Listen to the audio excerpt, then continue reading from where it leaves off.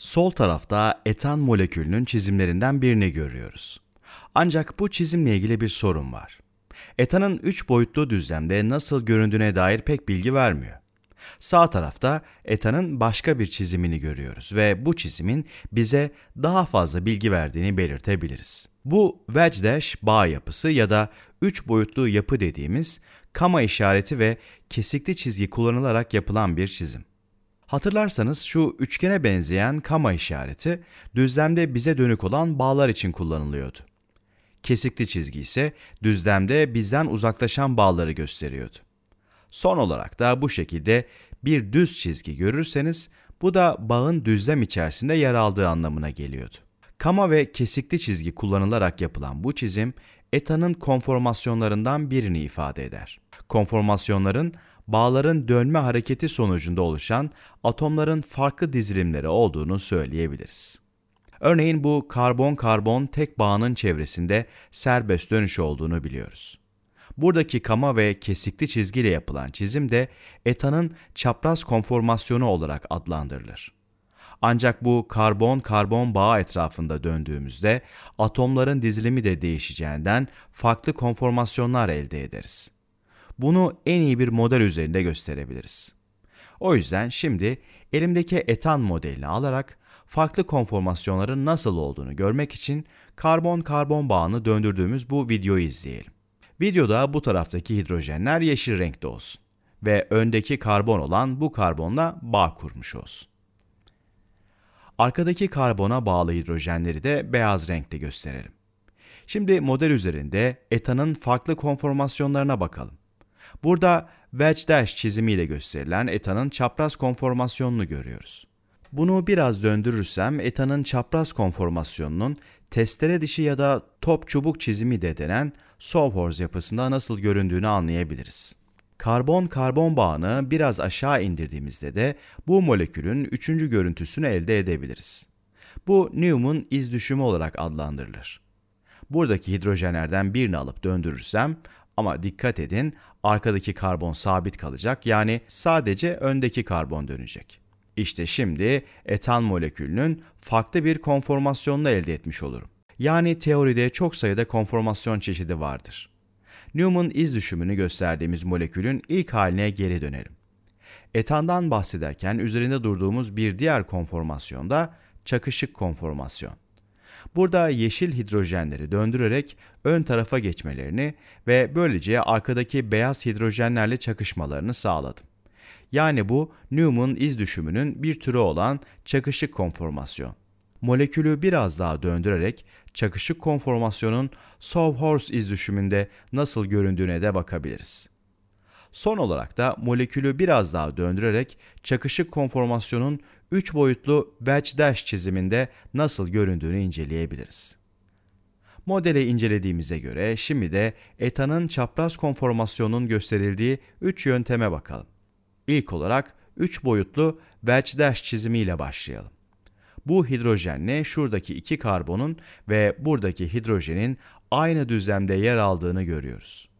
Bu atomlar aynı düzlemde yer aldığından bu bağların hepsi düz çizgiyle ifade edilir. Şimdi de soldaki karbona bakalım.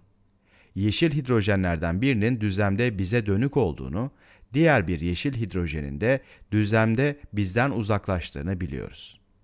Buradaki hidrojen de düzlemin içerisinde. Beyaz hidrojenler açısından incelediğimizde ise bu hidrojen düzlem içerisinde yer alırken buradaki düzlemde bize dönüktür ve son olarak bu hidrojen de düzlemde bizden uzaklaşır. Bunu aşağıdaki görüntüde de kolayca görebiliriz. Çapraz konformasyonu Sawhorse yapısı olarak adlandırılan yöntemle de gösterebiliriz. Bu çizimde buradaki karbonun görüntüdeki şu karbonla eşleştiğini ve bu karbona da 3 yeşil hidrojenin bağlı olduğunu söyleyebiliriz. Yani çizimdeki bu 3 hidrojen yeşil renkte gösterilmiş. Buradaki karbon-karbon bağı da Sawhorse çizimimizdeki şu karbon bağına denk gelir. Son olarak arkadaki karbona bakarsak bu karbonun beyaz hidrojenlerin bağlı olduğu karbon olduğunu söyleyebiliriz. Yani yukarıdaki çizimde bulunan bu 3 hidrojen aşağıdaki beyaz renkle gösterilmiş. Karbon-karbon bağına yukarıdan yani buradaki eksenden bakarsak modelde olduğu gibi Newman iz düşümünü görebiliriz. Buradaki nokta öndeki karbonu temsil ediyor. Yani görüntüdeki şu karbon. Bu nokta öndeki karbonu temsil eder. Ve öndeki karbonda bildiğiniz gibi yeşil hidrojenlere bağlı. Yani çizimdeki bu üç hidrojen yeşil renkte gösterilir. Öndeki karbon arkadaki karbonun önünü kestiğinden bu çizimde arkadaki karbonu göremeyiz. Ama arkadaki karbonun orada olduğunu bildiğimizden Newman iz düşümünde bunu bir şekilde göstermemiz gerekir. Bu yüzden arkadaki karbon bu çizimde şöyle bir çemberle gösterilir. Yani bu çember aslında arkadaki karbon. Arkadaki karbona da bildiğiniz gibi beyaz hidrojenler bağlı. Bu yüzden çizimdeki bu üç hidrojen beyaz renkle gösterilir. Aşağıdaki görüntüde beyaz hidrojenlerin bir karbona bağlı olduğunu görüyoruz. Ancak öndeki karbon engellendiğinden bu karbonu görmemiz mümkün değil. Evet, Newman iz düşümleri üzerinde biraz daha dursak iyi olur. Örneğin bu beyaz hidrojenle yanındaki yeşil hidrojen arasındaki açıdan bahsederim. Bu ikisi arasındaki açı sizce kaç derece? Burası 60 derece olduğundan bu iki hidrojen arasındaki açı da 60 derece olur. Bu dihedral açısı veya burulma açısı olarak adlandırılır. Bu ikisini de yazayım. Evet. Dihedral açısı veya burulma açısı. Konformasyonlardan bahsederken hidrojenler arasındaki açı çok önemli. Örneğin buradaki açı 60 derece olduğundan buradaki iki hidrojenin üst üste denk gelmediğini söyleyebiliriz. Yani Newman iz düşümünde bu iki hidrojen arasında boşluk var. Bu durumda da yeşil hidrojenlerin beyaz hidrojenlere kıyasla çapraz olduğu sonucuna varabiliriz. Molekülün diğer tarafına baktığımızda da hepsinin arasında boşluk olduğunu görüyoruz. İşte bu yüzden bu yapı etanın çapraz konformasyonu olarak adlandırılır. Son olarak da etanın diğer önemli konformasyonu olan çakışık konformasyona bakalım. İlk olarak 3 boyutlu wedge dash çizimiyle başlayalım. Bu hidrojenin, bu karbonun ve şuradaki hidrojenle karbonun aynı düzlem içerisinde yer aldığını bildiğimizden bu çizgiyi çekerek tüm bu bağların aynı düzlemde yer aldığını gösterebiliriz. Soldaki karbona bakarsak burada bize dönük yeşil bir hidrojen olduğunu görüyoruz. Yani buradaki yeşil hidrojenin bize dönük olduğunu, diğer yeşil hidrojenin bizden uzaklaştığını ve son hidrojenin de düzlem içerisinde yer aldığını söyleyebiliriz. Beyaz hidrojenlere gelirsek. Bu hidrojen düzlem içerisinde yer alır. Bu hidrojen düzlemde bize dönüktür ve buradaki son hidrojen de düzlemde bizden uzaklaşır. Şimdi de Sawhorse çizimlerine bakalım. Bu karbon, öndeki karbon. Yani aşağıdaki görüntüde 3 tane yeşil hidrojene bağlı olan karbona denk geliyor. Buradaki hidrojen atomumuz yukarıya doğru dönük. Bu hidrojen ise aşağıya ve biraz sağa doğru kaymış. Benzer şekilde diğer hidrojenin de aşağıya ve biraz sola kaydığını belirtmemiz mümkün. Karbon-karbon bağımızı da unutmayalım.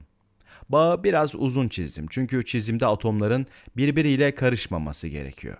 Evet, bu da arkadaki karbonumuz. Bu karbon bildiğiniz gibi yine 3 hidrojen atomuna bağlı. Bunları da hem çizimde hem görüntüde beyazla gösterdik. İşte böyle. Son olarak da çakışık konformasyonun Newman iz düşümüne bakalım. Hatırlarsanız karbon-karbon bağından aşağıya baktığımızda Newman iz düşümünü elde etmiştik.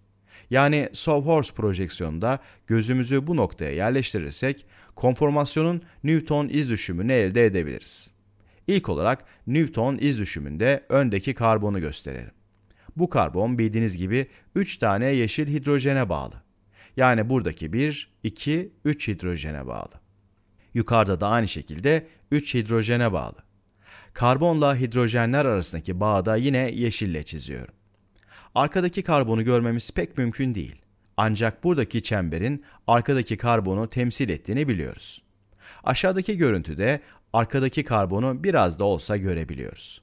Ancak normalde öndeki karbon arkadaki karbonun görülmesini engeller. Arkadaki karbon bildiğiniz gibi 3 tane beyaz hidrojene bağlı. Burada da zaten 3 beyaz hidrojen atomunu görüyoruz. Bu çizimde dihedral açısı veya burulma açısı olarak adlandırılan hidrojenler arasındaki açı 0 derece olur. Buradaki hidrojenle arkadaki hidrojenin tamamen dik bir şekilde yukarıya baktığını varsayarsak bu ikisi arasındaki açı 0 derece olur. Yani çakışık konformasyonda dihedral açısı 0 derecedir. Bir sonraki videoda görüşmek üzere.